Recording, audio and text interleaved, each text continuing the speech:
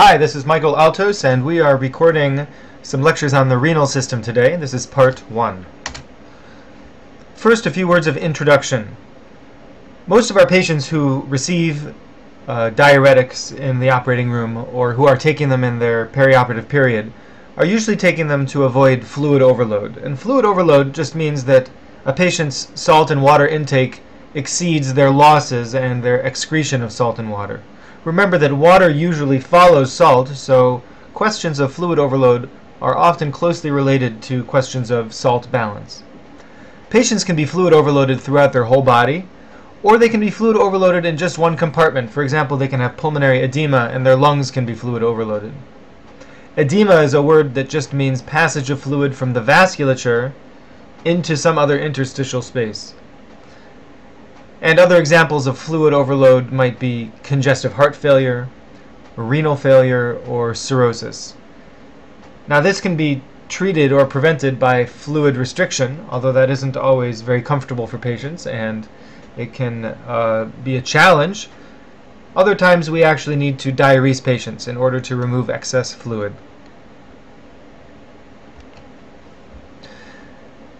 In the kidney, the blood flows into the kidney from a renal artery, and it flows into a small structure called a glomerulus.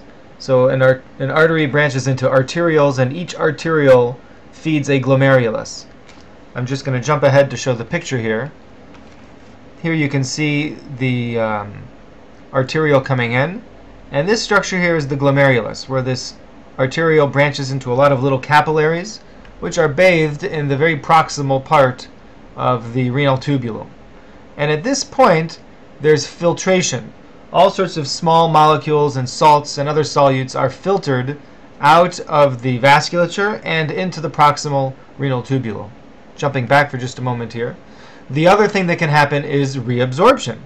So water and solute, especially sodium, can be reabsorbed out of this renal tubule back into the vasculature at various points throughout this renal tubule. Jumping back for just a moment, sodium usually moves isotonically, which means that sodium moves and water follows the sodium to maintain constant osmotic pressures. If we look at a patient's FeNA, which is their fractional excretion of sodium, that is to say, of all the sodium that enters the renal tubule over here, what fraction of it actually goes out in the urine at the other end? Patient's FeNA is usually less than 1%, which means 99 plus percent of the salt that enters the renal tubule on this side never makes it out. It gets reabsorbed back into the body.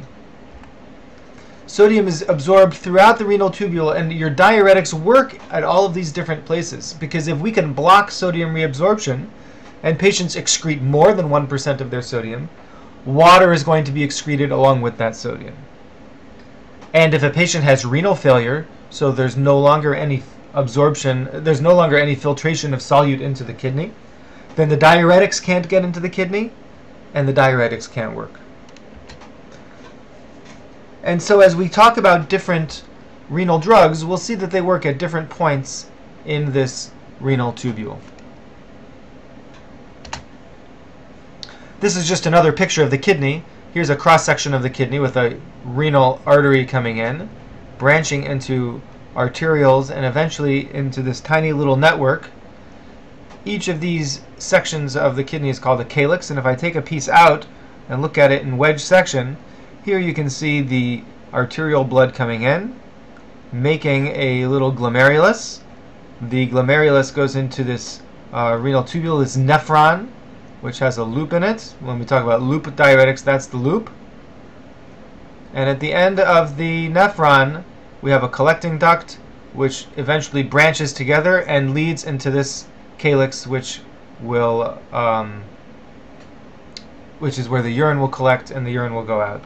Meanwhile, at the other end of the glomerulus, blood leaves the glomerulus and is drained into the venous system, and the venous system all collects back into the renal veins, which goes back to the circulation.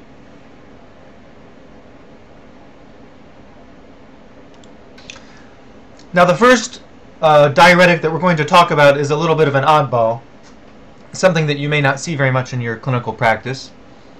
but it is something that shows up in some textbooks, and I thought we would cover it briefly.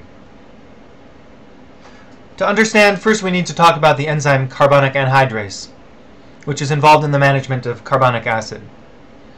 Now, normally, your kidney is capable of pumping hydrogen ions into the urine using the sodium hydrogen pump. Sodium leaves the urine and hydrogen can be pumped in.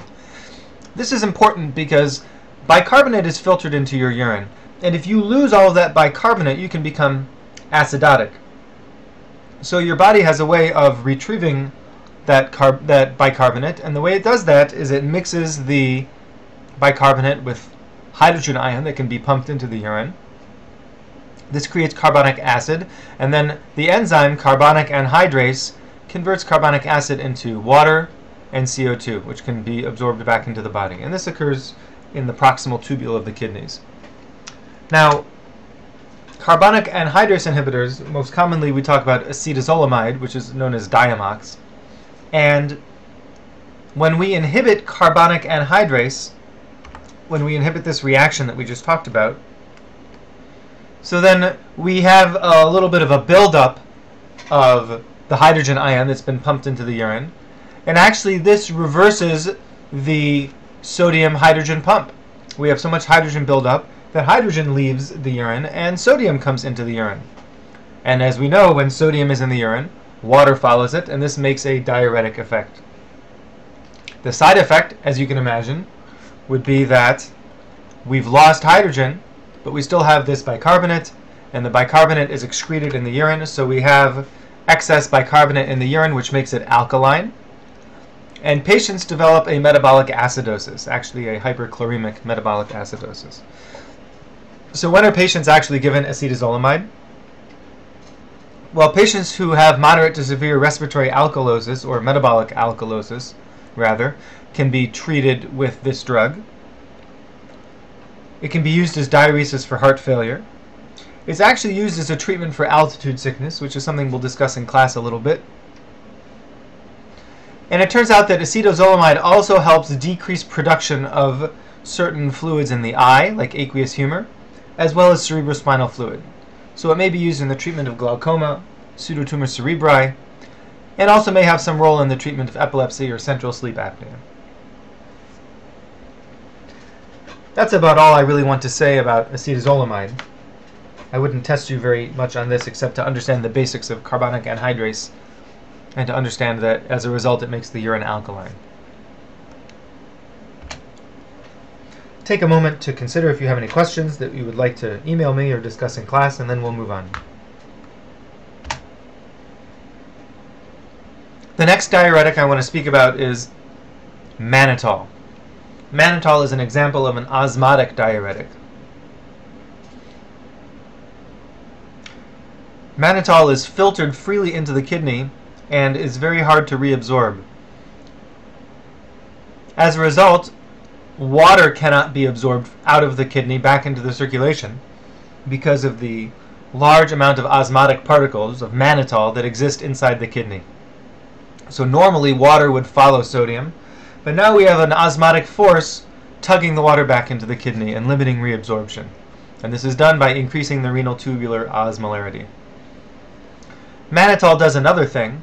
It doesn't only work in the kidneys, but actually it works in the entire body. When you put mannitol into the circulation, we increase the osmotic pressure, the osmotic particles in the vasculature. And this draws water out of cells into the vasculature, into the plasma. And then due to this increased intravascular volume, renal blood flow increases as well. So you can see several mechanisms by which mannitol can act as a diuretic. Now when we pull all this fluid out of the cells into the circulation, patients can actually become a little bit fluid overloaded, which is fine for me and you, but maybe not for someone who has a bad heart. Then it could put them into pulmonary edema or congestive heart failure. And actually, because all that free water is coming into their circulation, they can become transiently hyponatremic. They can dilute out the sodium in their circulation. Now, of course, once they've diuresed out all of this free water, patients can become a little hypernatremic. They can get concentrated sodium in their blood in their bloodstream. A lot of people have thought that mannitol had some magic uh, protective powers for the kidney, that somehow it protected the kidney.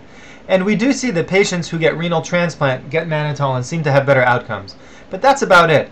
In patients who are having uh, AAA repairs or ruptured AAAs and they're clamping above the renal arteries, there's no evidence that giving mannitol to these patients reduces kidney injury, reduces reperfusion injury, or anything like that.